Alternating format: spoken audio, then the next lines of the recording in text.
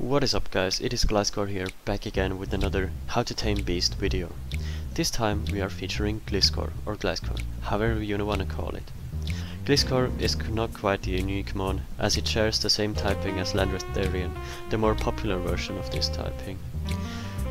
Gliscor has definitely its perks that it can use, so let's have a look at what it can offer on a team for each one. So let's have a look at its base stats. Its base stats in HP are 70, 75, attack is 95, defense is 1, it's amazing 125, special attack lacks lackluster 45 but you're never really going to use special attack. Then its special defense is again 75 as its HP stat is and a really good 95 speed. So it definitely has some potential in it so that are suggested by its stats, especially in physical defense. So let's have a look at what it what kind of purpose it it offers. Now having that 95 base speed it is definitely faster than Heatran and Bisharp so it can KO them with Earthquake and as well as heavily dent Aegislash with its 95 base, base attack.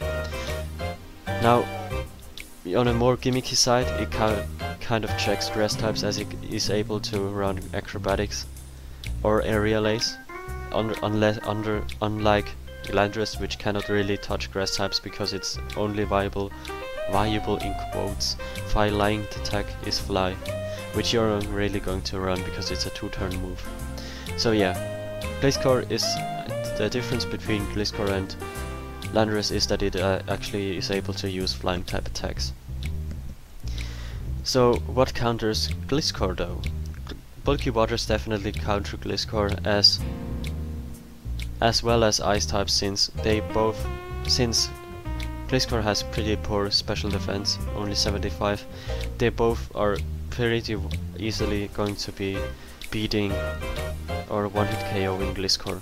As well as everything that counters Landorus Therian is going to be able to counter Gliscor except for grass types such as Venusaur.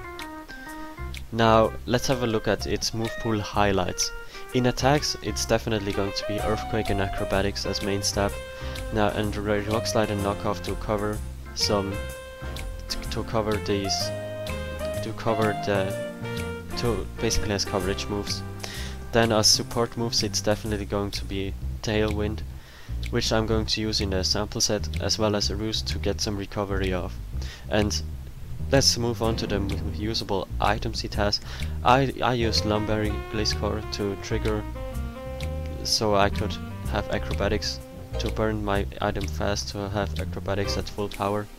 But of course you can use Toxic Orb, which which boosts its longevity, as well as Sitrus Berry does, and the Yache Berry is also a commonly, commonly, more or less commonly used item, because it, I mean, it's got a 4 times weakness to ice. Let's have a look at a sample stat that I created myself. Um, the speed, 92 speed is so that you're outspeed Scarf th th Thundurus Therian in Tailwind. And yeah, max attack to have max attack and rest in I put the rest in HP. Hypercutter is there because we're not using a Toxic Orb, so it's probably the next best ability to have. Um, yeah, as it do doesn't allow your attack to be lowered. Now, I used this Gliscor in conjunction with a Swagger Thundurus to, so I could Swagger myself, set up the Tailwind and have now plus 2 speed, plus 2 attack, as well as Acrobatics and Earthquake as powerful stab attacks. It's quite a gimmicky setup, but it can definitely work out.